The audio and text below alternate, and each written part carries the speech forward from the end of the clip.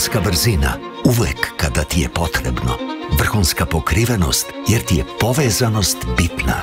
Zajedno smo otkrili kako se stiže do vrha i kako se tamo ostaje, godinu za godinom. NetCheck je potvrdio da je MTS najbolja mobilna mreža u Srbiji. Ponovo prvi. MTS. Tvoj svet.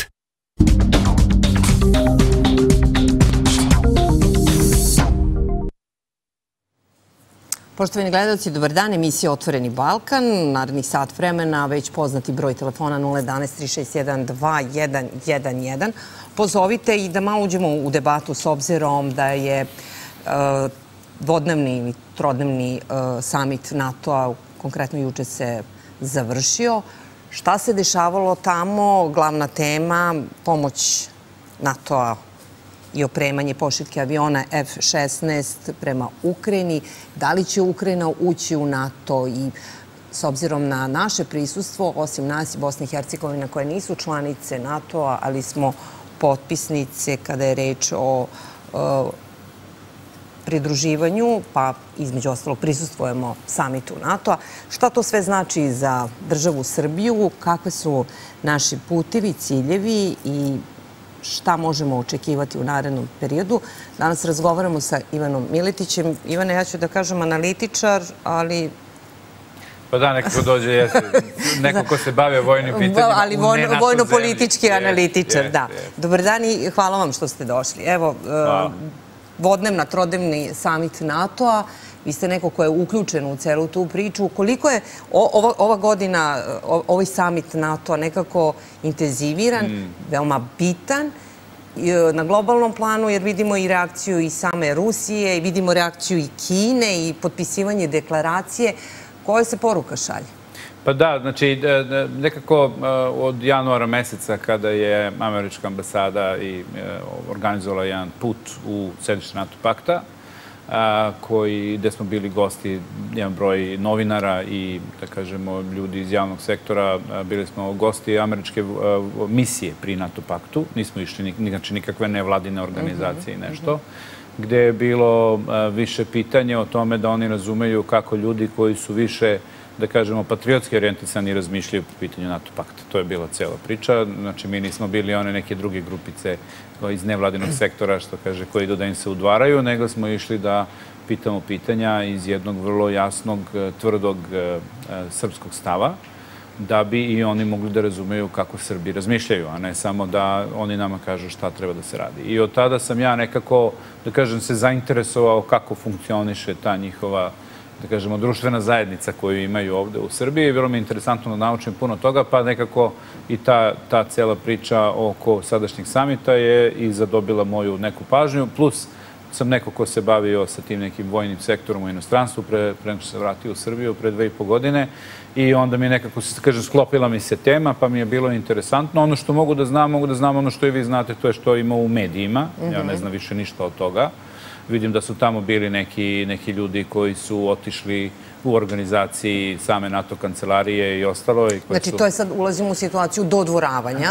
Pa verovatno, pretpostavljam, da. Da, to... da. Na, ako, ako, ako vam put organizuje da. i smešta i, i plati i odvede vas tamo duži neki vremenski period, onda očito niste tamo otišli da platite to, nego ste organizovano otišli tamo, što je okej. Okay. Pa ste to rade sve sve organizacije, onda... čujem to rade i neke druge zemlje i šta ja znam, ja nisam iz te priče. Ovaj, ja više mene interesuje ono šta je Srbija i kako se sve to odražava na Srbiju i tu u tom svetlu ja gledam na sve to i kada ih pokušavam da analiziram, ja pokušavam da analiziram, ok, znači desi se taj NATO pakt, neke poruke su puštene, očito je bila dobra medijska podrška vezana i za, kažemo, Zapadni Balkan, mhm, kako ga zovemo mhm. ovde, Otvoreni da. Balkan, što znači da i neke odluke samita su, i, i razgovor je bio vezan za Zapadni Balkan. To smo mogli da čujemo u medijima, neke izjave koje su, nisu dobro zvučale, ali to nam dovoljno govori koliko mi moramo da obratimo pažnju šta se dešava na takvom jednom skupu i zato je dobro da je ministar spoljnih poslova Srbije bio na tom skupu i šire. Znači, Marko Đurić kao ministar spoljnih poslova Srbije nije samo išao, da kažemo, na taj summit, nego videli smo imao je kao bivši ambasador je očito pokrenuo neke svoje stare kontakte i imao je sastanke i sa kongresmenima i senatorima i sa lobby grupama vezanim za Srbiju i odnose Amerike i Srbije. Tako da je to bio dobar potez i oni su, koliko čujem iz e, kancelarije e, e, njegove za odnose sa medijima, isto odveli jedan deo novinara, što je isto bilo dobro, tako da nismo imali samo jedan ugao izveštavanja, nego smo imali dva ugla izveštavanja sa takvog jednog skupa i to je uvijek dobro da se radi. Jer jedino ako imamo dva ugla izveštavanja, mi možemo da razumemo kako se tako nešto odražava na ono što se dešava ovaj, u NATO paktu vezano za za nas, a to nas interesuje jer, se, jer je NATO pakt zadužen za održavanje bezbednosti na Kosovu i Metohiji, jel da? A i vrlo su aktivni u Bosni i Hercegovini uz podršku ovoj operaciji Evropske unije i Eurofora. Pogotovo kada je reč o, rezoluciji o Srebrenici. Tačno, znači to dosta toga da, se dešava, a približavaju se i američki izbori i onda mhm. vidimo kako u to jednom celom, da, da kažemo, vatri ili zakuvavanju pred same izbore, puno toga se dešava što se e, reflektuje i ovde kod nas. Tako da uvek u tom svetlu treba gledati. E sad, e, interesantno mi je da je Osmani, s obzirom da je prisustvovala mhm. samitu NATO, se lično zahvalila Bajdenu, pošto Kosovo po prvi put je učestvovao, ajde kažem, uključen mhm. u samit NATO-a. Mhm. Koja je i to poruka, s obzirom da su... Pored je poruke, imali smo jasnu poruku gospodina O'Briana, koji je vrlo jasno rekao da će Sjedinje američke države raditi na jačanju kosovsko-bezbednostnih snaga koje treba da prerastu, kako je rekao, u, teritorijalnu odbranu koja je integrisana sa NATO paktom. Znači, opet kažem, kako se to odražava na nas? Znači, vrlo, mhm. vrlo jasno da vidimo da sadašnja administracija, ovakva kakva je, ima određeno strategiju vezanu za Zapadni Balkan koja podrazumeva da uz njihovog ugla da je Kosovo nezavisna zemlja koja je kao je suverena teritorija, koja može ne znam šta da ima i svoju vojsku i tako dalje i da će oni raditi da, na tome da to pomažu. To je vrlo jasna poruka i onda mi moramo da razumemo zašto je važno da ljudi koji govore da su bitni da je bitno raditi na poboljšanju bilateralnih odnosa između Srbije i Sjedinjenih američkih država u pravu. Jer sa poboljšanjem bilateralnih odnosa vi ćete da smanjujete tu njihovu težnju vezano za Kosovo i Metohiju, a ako zatežete te odnose, onda ćete da podižete taj njihov, da kažemo, pristup koji oni prave. Tako da, da zato je važno da mi imamo to, taj vrlo jasan balans, da bismo mogli da upravljamo tim rizikom radije nego da odgovaramo na taj rizik, jer onda smo uvek ona strana koja kasni i koja je korak kažemo, Dobro, ali da li vam se ne čini da mi u poslednjih par godina, ako ne kažem, mogu da kažem i deset godina unazad, upravo imamo taj odnos otvorenosti, komunikacije, upravo sa NATO-om, odnosno sa Amerikom, ali nekako mi se čini da ta otvorenost donala nam je proterivanje Srba sa Kosova. Videli smo pokušaj činjenica mm. uh, na Ibru da se sklone ovaj, barikade, uh, vidimo kako uh, dinar više nije valuta. Vidimo za ovih proteklih deset godina kako stanovništvo dole na Kosovo i Metohiji živi. Vidimo taj deo jeste i tu trebamo da razumemo da u tih deset godina se promenila i dinamika između Sjedinjenih američkih država i Rusije i da smo mi imali jednu, jednu spoljnu politiku koja je bila zasnovana na pokušaju balansiranja i pazite, vi e, kada te zemlje su sada ušle skoro u direktan sukob, vi baš niste u poziciji da balansirate. Jer naše okruženje, nažalost, je takvo kakvo je. Može da nam se dopada ili da nam se ne dopada ali ono je vrlo jasno. Naše okruženje je NATO okruženje. Naše okruženje je Evropska unija okruženje. Sve ostale zemlje su dovoljno daleko da ne mogu da stignu do nas ili moraju da pitaju dozvolu da stignu kod nas. I tu mi ne možemo da utičemo.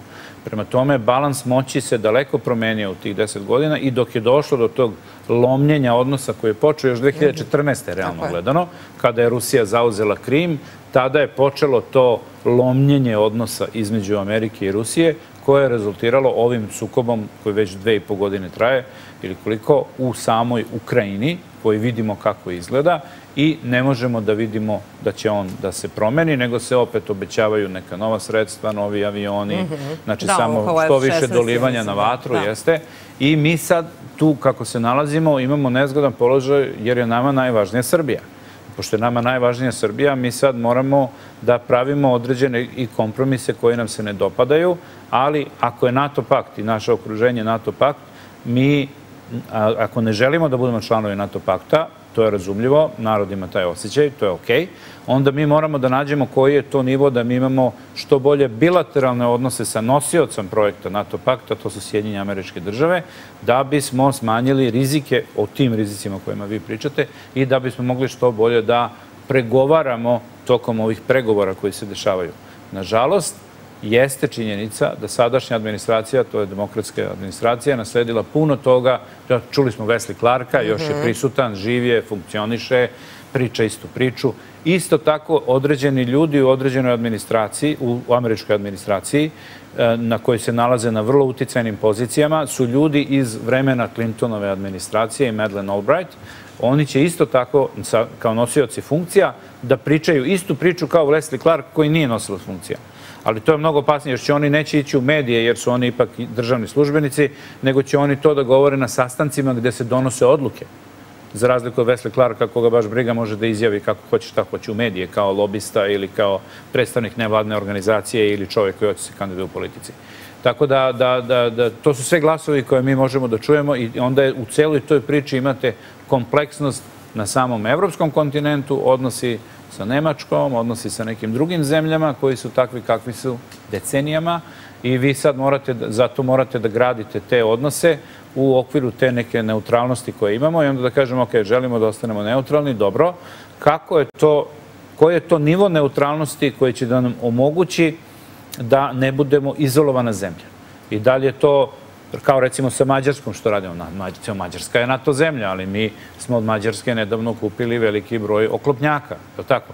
Onda imamo sličan odnos, imamo dole sa, sa Kiprom gde smo mi napravili dobar vojni aranžman sa Kiprom, koja nije članica NATO pakta, ali je zemlja članica Evropske unije, pa smo uzeli ove neke helikoptere, pa smo njima dali neke haubice, onda ima taj nivo. Evo, Španija, koja je vrlo jasno, smo videli odluku u španskom parlamentu, gde su oni rekli ne dolazi u obzir priznavanje Kosova, je odličan moment da mi sa Španijom sada radimo dobre vojne odnose, kao što jesmo radili, recimo, oni transportni avioni koji su kupljeni, oni su proizvedeni u Španiji i oni su došli kod nas. Tako da Rumunija je isto jedan dobar primer, zemlja koja ne priznaje Kosovo, koja je članica NATO pakta i ne moramo mi da, da nađemo mogućnost za vojnu saradnju isključivo i samo kroz NATO pakt, nego možemo na tom neutralnom nivou kroz neki novi model neutralnosti koji je zasnovan na dobrim, dobrim bilateralnim odnosima sa zemljama koje poštuju naš uh, suverenitet, teritorijalni integritet i ne priznaju Kosovo, sa Slovačkom,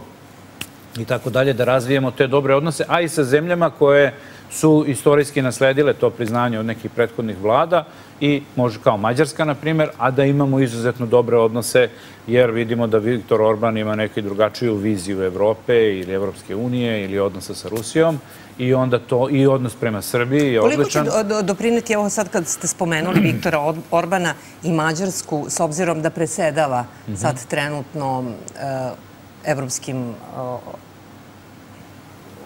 Evropskom unijom, da. da. Evropskom unijom e, u narednih sad šest meseci. Da li će doprineti, ajde kažemo u ovih narednih šest meseci, to njihovo presedavanje kada je reč o Srbiji? Da će nam nešto se...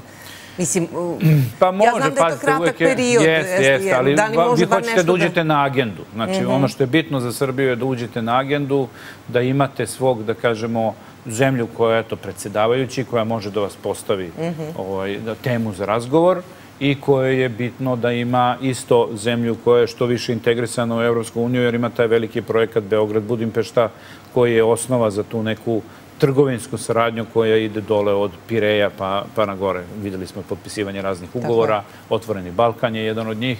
Znači, to je izuzetno važno, kako da nije važno. Naročito ako je zemlja predsedavajući, nije dugačak period, ali ta zemlja može da vas postavi, može agendu da postavi, može mhm. da budete tema razgovora, može da se progura kroz te razne e, odbore koji postoje isto u kojima se razgovara, može da pokrene svoje poslanike u Evropskom parlamentu, da se debatuje o nekim stvarima koje su nama u korist.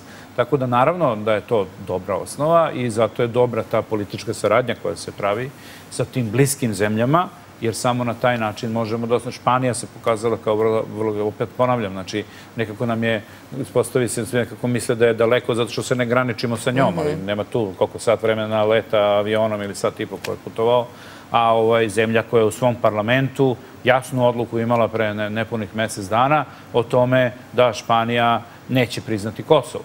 Znači, to je vrlo važna odluka španskog parlamenta, pazite, znači, vrlo neočekivano sa naše strane i nema veze sa nama, ali tu je taj nacionalni interes koji se poklapa između Španije, koja je jedna razvijena i jaka NATO zemlja i Evropske unije, pa i globalna zemlja, pa ste španski jezik koliko se govori u svetu, i ovaj, kako se zove, i Srbije. I to su ta neka preklapanja na koje mi možemo da računamo, da širimo našu ekonomsku saradnju, da ih pozivamo da investiraju kod nas, da pravimo te investicione projekte, da, da ojačamo ono što ja stalno pričam kod vas, našu ambasadu u Madridu, da nema tamo samo troje ljudi, mm -hmm. nego nekih sedi deset, nego budu tamo neki atašeji koji će se bave nekim dobrim ekonomskim stvarima i tako trebamo da radimo sa svim zemljama. Tako da ono što hoću da kažem je da mesto postoji u okviru postojećeg sadašnjeg e, statusa Srbije kao neutralne zemlje, da se unapredi na mnogo višem nivou, a da mi i dalje ostanemo neutralni. Znači da mi možemo i ne koristimo ni pun kapacitet koji nam nudi onaj partnerstvo za mir. to, to sam eto naučio kad sam bio tamo u Briselu. To je nekako ono, manje više kao a la carte sistem kad odete u restoran pa vi ne pojedete sve, nego odaberete. Tako i Srbija odabrala model koji njoj odgovara. A ima još... Ima još puno toga što može da radi, što može da nam donese dobru tehnološki, tehnološki razvoj, energetsku tranziciju, puno toga što može da nam omogući i da omogući da naši inženjeri u svojoj zemlji rade na projektima visokotehnološkog razvoja, radije nego da moraju da idu, ne znam, u neke druge zemlje, da tamo rade, jer jednostavno kod nas se te neke stvari ne rade, a svako kao profesionalac, čovjek kao ja, kad sam odrastao, nije bilo mesta u vazduhoplavstvu jer je propala bila vazduhoplovna industrija. Ja sam otišao u Australiju. I onda se vremeno vratio. Da, mnoge stvari su, ajde kažemo, zanemarene.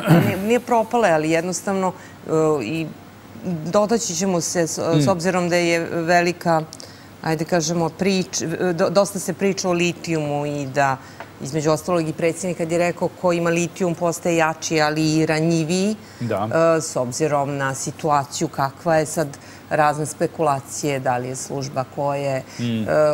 Da svako bi da se dočepa tog sad materijala, jel Jeste. tako? E, sad, strateška, a, strateška sirovina. Ali strateška je i izgradnja nuklearnih elektrana. Jeste. Mi profesore, Jeste. upravo to što kažemo, e, naučnike koji se bave mm. nuklearnim sektorom, nemamo. Jer je to isto zapostavljena grana kada pričamo o samoj državi Srbiji. Da. I e sad je... su, upravo dolazimo do te situacije. E, e, očigledno da široki spektar, ako hoćemo da idemo u korak sa svetom, moramo da radimo i na tom planu. Naravno, moramo da se razvijamo. Znači, mi, ako razvijamo nešto na neki nivo, uvek morate da rastete, jer svet raste, svet se razvija, tehnologije se razvijaju, veštačka inteligencija se mhm. razvija. Kao što ste rekli, nuklearna energija je potrebna zato što mi proizvodimo da li 80% ili koliko već veliki, ogroman procenat električne energije iz uglja, mhm. a to je doneta odluka na nivou Evropske unije da to mora da prestane. I jednostavno ne možemo mi jedini da ložimo ugalj, a cela Evropa će da prestane. Znači, to je mhm. nemoguće, to je tehnički neizvodljivo i mi sad trebamo da pričamo kako ćemo to sa čime da zamenimo. Nuklearna energija je jedan od oblika e, koji se u Francuskoj pokazao kao dobar. Mhm. I tu je nešto gde ćemo mi morati da napravimo tu energetsku tranziciju, a da bismo je napravili moramo da imamo stručnjake. I zato je bio onaj susret u Parizu uh, koji je organizovao predsjednik Macron sa onim mladim naučnicima, mm -hmm, Srpsko, da, Srpsko nuklearno društvo, kako su ga nazvali, u, jeste, u, u Francuskoj. I to, to je dobro. To je, to je ono gde mi moramo da napravimo tu osnovu i da te mlade ljude sada vratimo nazad u Srbiju, ali moramo da stvorimo i takav ekonomski ambijent. Da bismo stvorili ekonomski ambijent, potrebno je ne da, da imamo niskotehnološku industriju ili samo poljoprivredu, jer je to mhm. nemoguće. To se u svetu pokazalo da ne dolosi brz obrt kapitala, nego jednostavno moramo da imamo i tržište kapitala i puno toga, ali moramo da imamo i tehnologije koje prave brz obrt, jer pasite, ako se nalazite na početku tranzicije sa sadašnjih automobila na ovaj, motore sa unutrašnjim sagorevanjem, na električne ili hibridne, nije ni bitno automobile, jednostavno vi morate da učestvujete u tom procesu da ne biste, ako se kasno priključite kao u svakom biznisu, zaradit ćete za kikiriki i za kokice. Ako se na početku uključite, vi ste onaj ko diktira cenu, vi ste onaj ko je deo tog lanca snabdevanja i zato je za našu zemlju izuzetno važno da, da učestvuje u celom procesu da bi imala vrlo jak ekonomski razvoj. To je sve što je, što je pitanje. Znači, mi ne treba da razmišljamo o tome zašto je to dobro za Nemačko, nego zašto je to dobro za Srbiju i kako ovaj neki projekat koji treba u Srbiji da zaživi, treba da donese najbolju dobit za Srbiju, a da, e, da ne napravi štetu, ono čega se narod plaši. Narod se plaši da to ne bude otvoreni rudnik. Ne, bit će podzemni rudnik. Podzemni rudnik je drugačiji nego otvoreni rudnik. Da, velika debata se otvara kada je reč o, o, litijumu i da. počelo je da se govori. Ogromno. Da. Evo ja sam pratio sad, ja, na, Google može da vam mhm. izbaci, znači porast interesovanja u zadnjih mhm. mesec dana je 257 procenata u odnosu na, na mhm. ovaj neki period pre toga. Tako da ljude to zanima. Ljude interesuje zato što ih zanima da li će da takav jedan projekat uništi životnu sredinu. Zato je važno da u, da, da u debatu o tome i u takav projekat budu uključeni stručnjaci. Pasti, ja mogu da dam svoje mišljenje, ali ja se ne razumem u to. Ja nisam završio Rudarsko-geološki fakultet, ja ne znam kako ide ta kopanje rude i ostalo. Zato je važno da o tim projektima i u debatama o tim projektima učestvuju ljudi iz rudarstva. Mi vrlo često imamo ljudi iz šumarstva pričaju o tome. Mi imamo često da ljudi iz biologije pričaju o mhm. tome. Ili, ili s druge strane i sam Rio Tinto dovede čoveka koji je završio mašinski fakultet. Znate šta? A ja kažem, a gde je u ovoj sada debati njih pet sedi? Da li može da bude jedan sa Rudarskog geološkog fakulteta? Zašto ga nema? Geolog. Mm. Ja mislim da sam, da sam jutro s prvi put na nekoj televiziji video geologa koji je pričao. Do sad su neki nezavisni stručnjaci, bivši novinari, mhm. analitičari, stratezi, ovi, oni, svako ima neko svoje mišljenje, uh, ureditelji, svako će nešto da kaže. To je okej, to je debata koja treba se desi. svako ima pravo na mišljenje. Ali je vrlo važno u toj debati da učestvuju stručnjaci, jer stručna javnost je ona koja zaista treba da nam priča Da li takav jedan rudnik je loš, nije loš? Da li postoji tehnologija za eksploataciju tog litijuma ili ne? Zašto se jadarit zove jadarit? Zato što je jedinstven. Ja sam se malo interesovao, pa sam mhm, tako nešto mhm. čitao, pa znam. Ali zašto je jedinstven? I ako je jedinstven, da li onda zaista postoji ili ne postoji tehnologija koja će njega sad da izvrši tu separaciju, jer je to mešavina, kako se zove, litijuma i borata, koji su u jednom mineralu. Ja sad realno gledam, nemam ni pojma kako se radi separacija rude, ja nisam, nisam, nisam ni iz rudarstva. Ali zato kažem, je, je to, taj deo debata je ključan da se uradi a, i ekonomski analitičari će lako da urade matematiku, to nije problem. Mislim da je, da je ekonomska dobit vrlo jasna. A ko će raditi? E tu, tu e, se tu postavlja. E, tu, tačno, tu, tu, se tu je najveća... Pitanje. To je ključno pitanje. Mislim da se tu lome koplja. Tako je. Znači, nije... Ko će dobiti posao? Pazite, Srpski rečeno. Tačno, to će dobiti posao. Znači, ima, imamo Rio Tinto koji je na vreme to snimio iz satelita, došao je -hmm. 90 neke, parkirao se na teren, kupio zemlju i to je to. Kako Kupili su monopol. A monopol? monopol su, znači klasično kao kad igramo monopol. Mm -hmm. Kupili su one plavi, sad imaju kućice, mhm, ređaju, mm -hmm. imaju okolo da iznajemljuju, orientiraju. Ovaj, e sad, da li će oni to da vode? Mi smo na primjeru, recimo, nedavno sam ovaj, nešto čitao, zato što je iskočilo mi što je vezano za Australiju i recimo ovde je bila određena kompanija koja je kopala zlato, naša domaća kompanija, međutim njih je nedavno kupila australijska kompanija. I sad to više nije naš projekat srpske kompanije, to je sad projekat australijske kompanije. Da li će isto tako Rio Tinto da proda taj projekat nekome? Što čisto sumnjam. Pa, ali može, ali ne mora da znači ako su oni do sad... Pitanje je šta oni hoće, koja je, njihov, je njihova ekonomska analiza. Dobro, da. Ovaj, jer ovde je recimo došla mnogo veća australijska kompanija od njih, mhm. koja je preko Kanadskog investicijonog fonda ušla na projekte eksploatacije bakra i zlata. I ako pogledate statističke podatke, može preko interneta da se vidi, vidjet ćete da da je iznenada porastao drastično izvoz za Australiju, naročito u, u resursima, odnosno nekim, nešto se kopa ovde izvozi za Australiju. Mm -hmm, mm -hmm. Znači, vidjet ćete da tu sad dolazi do tog nekog dešavanja neki rudari su već stigli, kopaju, već se uspostavlja neka izvozna infrastruktura Srbija-Australija. Isto tako dolaze različiti australijski igrači ovde, nije samo Rio Tinto. I da li će Rio Tinto samo da proda taj rudnik? Što ne? To je zemlja.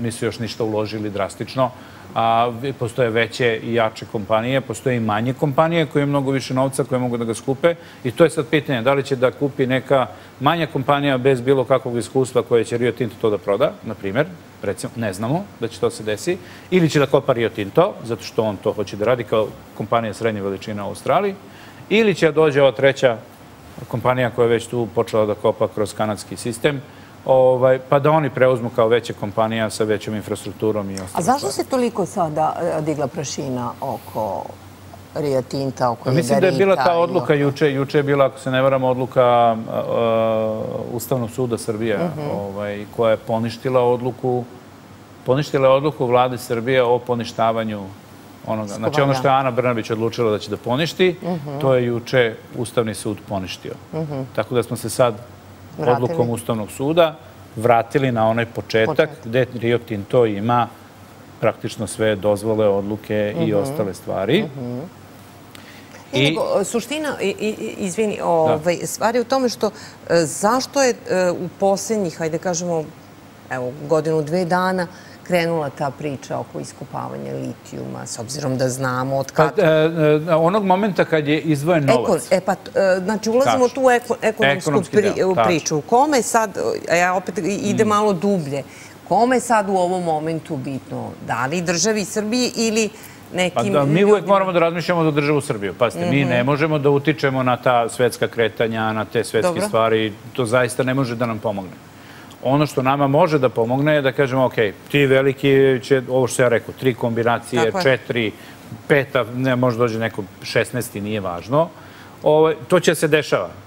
Sa nama ili bez nas. Jer poenta je sa nama, ako se dešava, jer je na našoj teritoriji, onda mi upravljamo procesom. Mi moramo da kažemo sa, sa čime u ovoj priči mi možda upravljamo. Tako je. Mi ne možda odlučujemo da li će to da radi Rio Tinto, da li će oni da prodaju, da li će neko da kupi. To, to je van naše kontrole.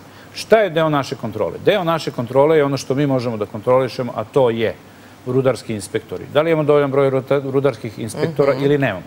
Ako nemamo, bolje da počnemo odmah sad da ih zapošljavamo nego da čekamo da... Ali ja koliko sam čula e, da smo u deficitu po pitanju. Tačno, znači eto. Znači to je prvo što treba da radimo. Drugo, znači imamo kontrolu, to je rudna renta. Mhm. Da li sadašnji nivo rudne rente Za ovaj projekat zaboravimo druge projekte. Drugi projekti su već zaradili dovoljno novca. Svi ti investitori koji su došli na osnovu te niske rudne rente su dovoljno para zaradili da mi, mi ne moramo da se brinemo o tome i možemo uvijek da im kažemo, gospodo, vi ste zaradili dovoljno novca, sad je vreme, novi veliki projekat dolazi, vi ste izvan te priče, mi moramo ovome da različimo.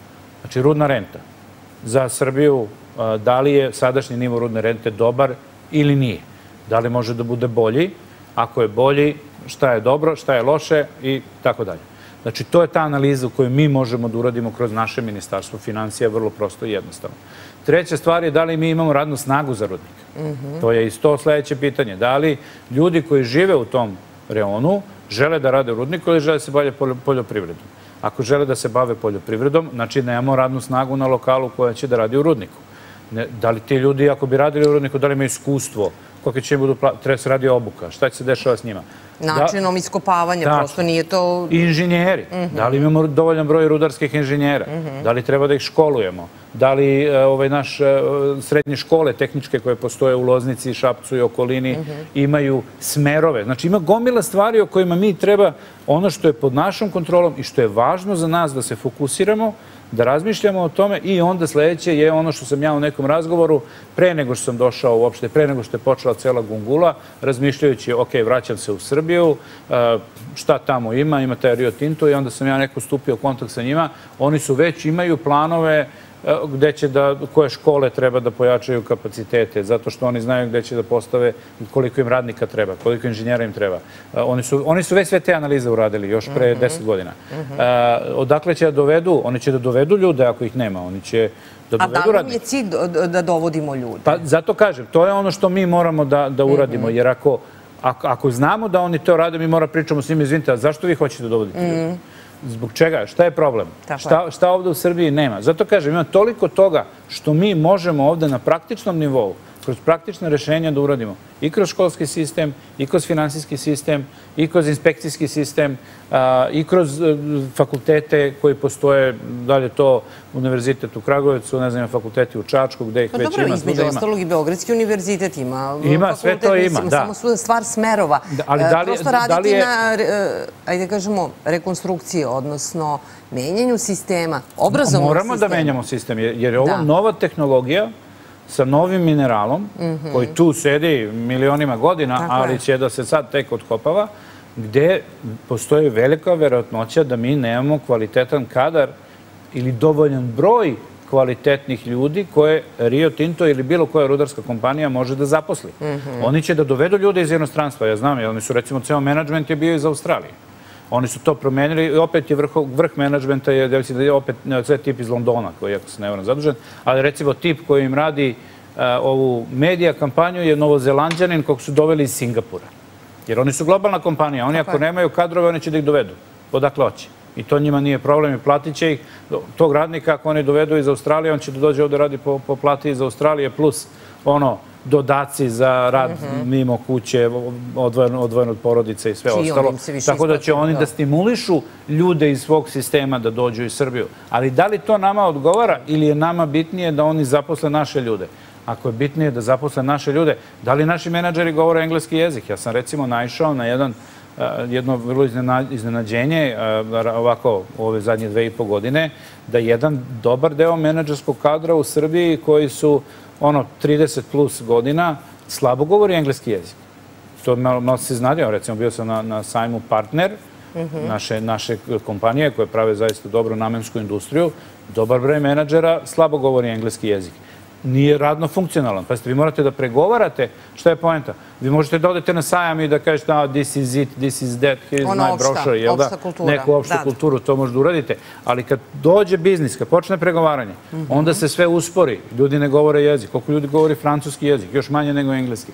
I onda tu nastane proces zaglavljivanja gde velike korporacije neće da čekaju. One će dovedu ljude. Onog momenta kad dovedu ljude iz inostranstva, onda nema mesta za naše ljude. Neće ti ljudi sad dođu ovde na tri meseca pa da se vrate u Australiju, Argentinu, Sjedinjene države, Kanadu, Oljasku i gde. Da li smo se do, mnogo uspavali? Pa nekada nam se to desi, nekada nam se to desi i zato ja kažem, uvek moramo da razmišljamo šta god da se dešava i u Ukrajini i u Americi, kako se to odražava na nas.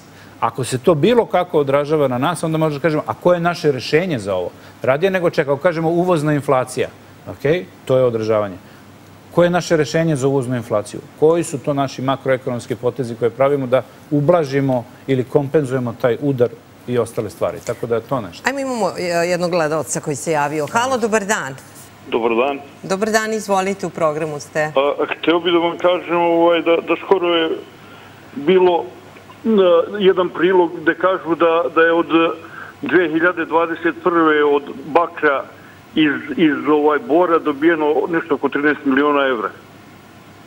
A prodali su negde za milijardu i 300. Dobro? I to samo lud čovek može da radi. Nas samo kvislinci ovde ubeđuju da će nam biti dobro od tog, od tog ovaj, otrova koji će da se razaspe celom Srbijom.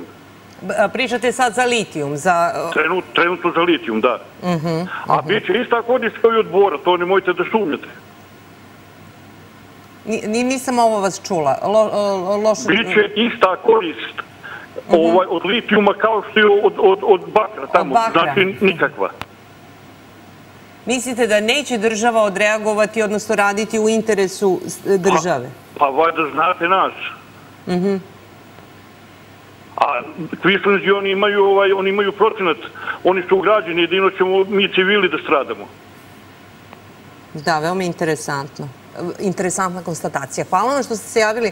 Ajmo, Pa Milan. ne, to je zabrinutost ljudi. Da, da, znači, Ivane. evo, gledalac je izrazio... Jer upravo kaže, Tačno, znači on čovjek je dalje ta, tačni podaci, sad ne bih ulazio jer moram priznam, ne znam taj ali- detalj, ali je činjenica da je sirovina na mestu kopanja jeftinija nego na mestu prodaje. Mhm. Tako. Zato što, ako ništa drugo, imate trošak koji se dodaje u sve to, isporuka do krajnjeg kupca i korisnika, logično je da svaki proizvod u fabrici ne košta isto kao pro, u prodavnici. Dakle. To Eurokrem kad kupite mm -hmm. ne košta isto koliko, ga, koliko košta... Fabrička cena. fabrička cena. A to isto i kad se grade čak, zgrade. Čak i, fabrička cena ima profit u sebe uključen. Znači da. ona proizvodna cena, da, da. da kažemo, je daleko različita, možda da, puta 10 u odnosu na ono što mi platimo u Lidlu. Tako. Realno gledam.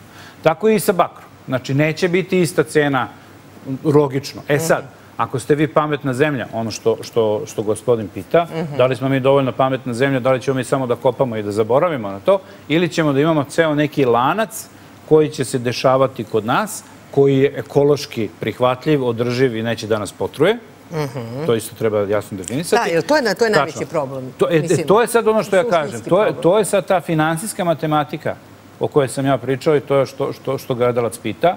Ovaj, da li smo mi uradili tu analizu da mi zaradimo i na kopanju, i na proizvodnji, i na prodaji, da dobijemo na svim tim mestima taj uh, cost benefit, što bi se reklo, odnosno dobitak ovaj, u trošku, što bi se reklo, tako da mi ostvarimo što, veći, što veću dobit.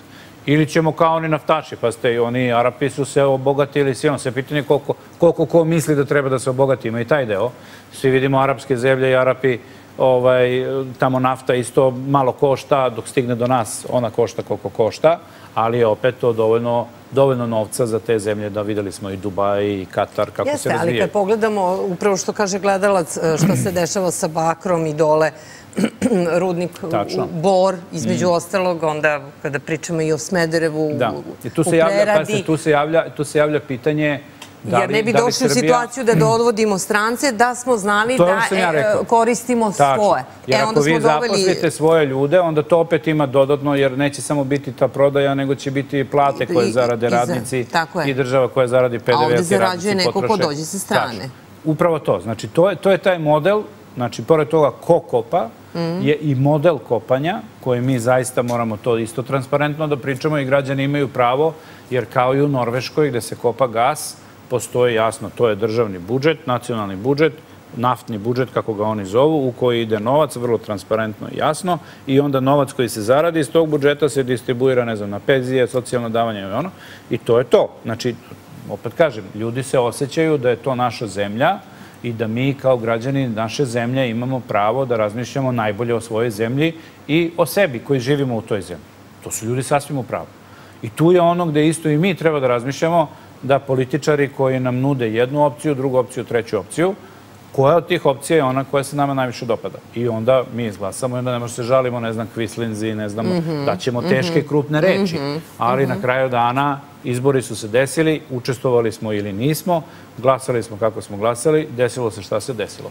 Tako da je to nešto što i mi iz javnog sektora treba isto da razmišljamo da li neko od nas hoće možda da ponudi neku bolju političku opciju, pa da se uključi u politički život i kaže, evo, ja sam bio toliko puta na emisiji, čuo sam to, niko to ne nudi. Tako je. Naš politički program je, i onda recimo rešćešim da navedemo ovo što je gospodin rekao, da ovaj gospodin kaže, aha, ja sam doprinao tome, ja hoću ili neću da glasam, neću da glasam, nepoznat je šta me briga, mm -hmm. držim se ove opcije, e onda nema, nema žalbe. Onda nema, to je to što ne, nema kukanja. Znači sve je to uzajamna jedna stvar, ali svako od nas u javnom sektoru ili ovaj, u politici treba da razmišlja sve što se dešava, kako je to najbolje za Srbiju, kako je to najbolje za građane Srbije i na osnovu toga da donosimo te neke odluke koje, koje, koje mogu da budu nepopularne kod, kod investitora, Mm -hmm. ali ti investitori nekad kad je nešto nepopularno, kad urade matematiku i finansijski izračunaju, moraju da prihvate neke nepopularne mere, a ne samo da, da, da oni odlučuju diktate, što se malo dešava,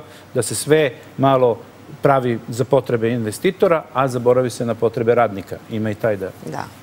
Hvala. E, naravno, gledalcima hvala što ste u studiju B. U 12 časova direktovan prenos iz predsjedništva Srbije. Predsjednik Srbije Aleksandar Vučić drži konferenciju za novinare. Naravno, ostanite u studiju B. Želim vam ugodan vikend i gledamo se od ponedeljka. Prijetan dan vam želim.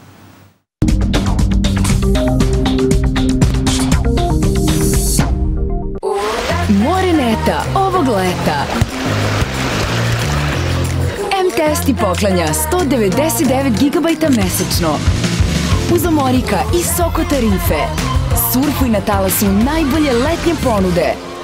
MTS, tvoj svet.